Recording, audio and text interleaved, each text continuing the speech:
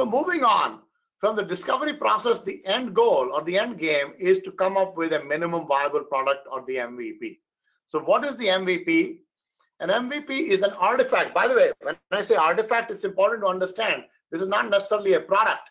It may be a concept, a prototype, a video. It might be any artifact that communicates what the product is going to be about. And it also consists of only the minimal features, just only what the customer needs in order to be able to validate or test.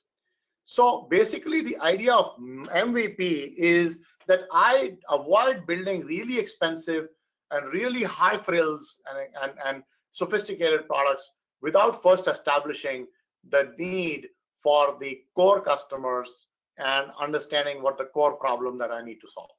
So in the MVP definition, let's break down the definition. Minimum means that I only focus on the one or two problems that I really need to solve. No bells, no whistles, right?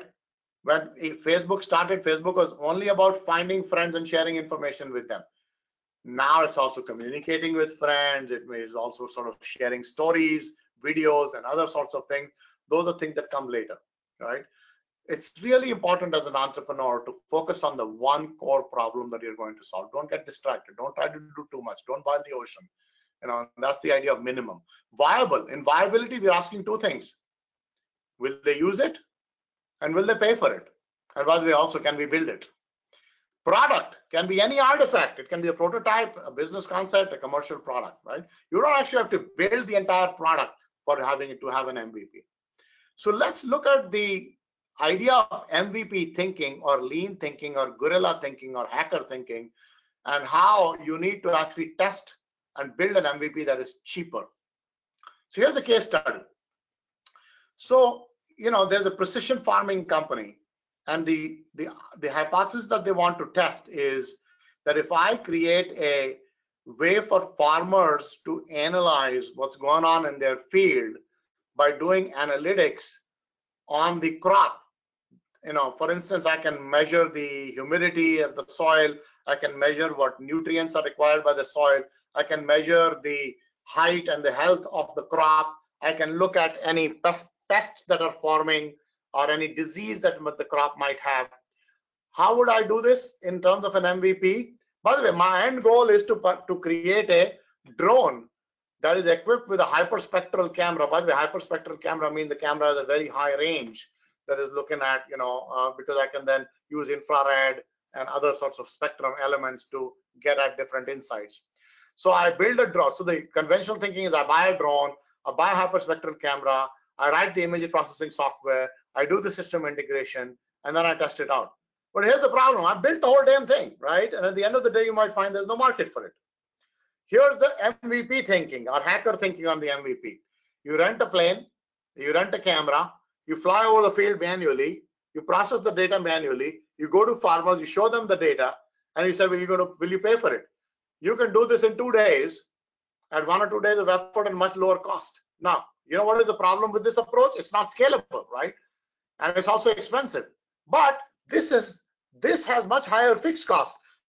The hacker thinking has higher variable costs but low fixed costs, and it's also very agile. So, so when you're thinking in MVP terms, think about really creative ways to test an idea or hypothesis cheaply rather than building out the whole concept. So these artifacts or MVP artifacts can be of different types. They can be an explainer video, which is a short video that explains what your product is going to be about, your service. It can be concierge MVP, which instead of providing the product, we start with a manual service where we use a lot of manual processes that simulate what my ultimate process might look like. It can be a piecemeal MVP where I actually look at the steps that customers might go through in my purchase journey. It might be a crowdsourced MVP where I use Kickstarter or Indiegogo to actually help customers give input into my MVP, or it can be a single feature MVP where I test out only one feature. You know, here's a case study of uh, a concierge MVP. Grubhub, you know, which is an online food ordering service that connects diners with local takeout, uh, takeout restaurants. Before they created the service, the founders wanted to validate whether customers would pay for it, what types of restaurants do they need to have, how much can they charge for delivery. So all those hypotheses were they could test before they actually had a system in place by manually picking up they created an app and when customers would order they would manually pick up the orders go to the restaurants and manually actually deliver the orders to the customers.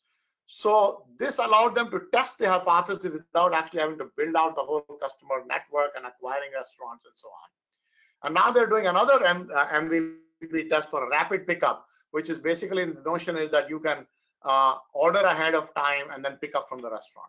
So MVP thinking, in other words, is think lean, think about quick and dirty, and think about how you can test something with a uh, you know chewing gum and rubber band to assemble what your ultimate product or service might look like, but do it fast.